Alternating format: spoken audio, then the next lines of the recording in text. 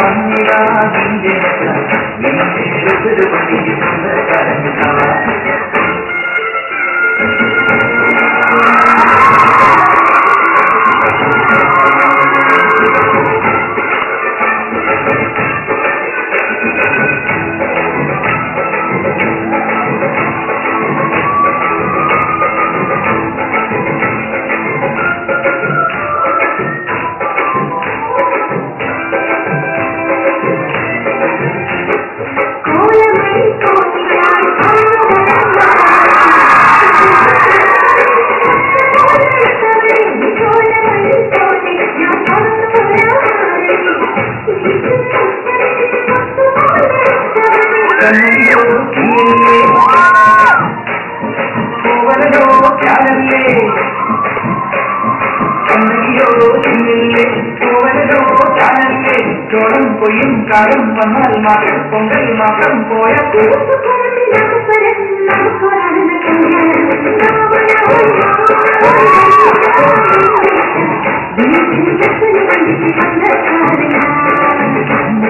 Thank you.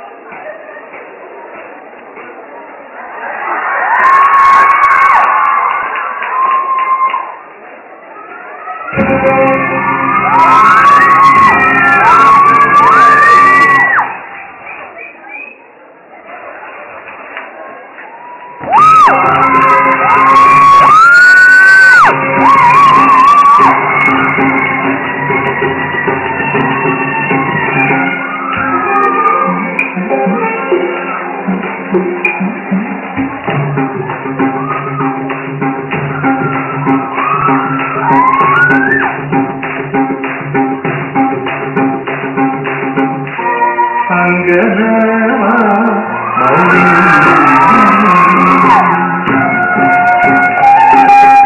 திங்களாசி காட்சியிலே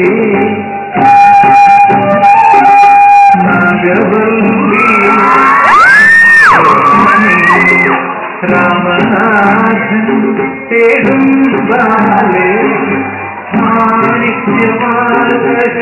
Manikkavasaga மொழிகள் நதீதேவி மாணிக்கவாசக மொழிகள்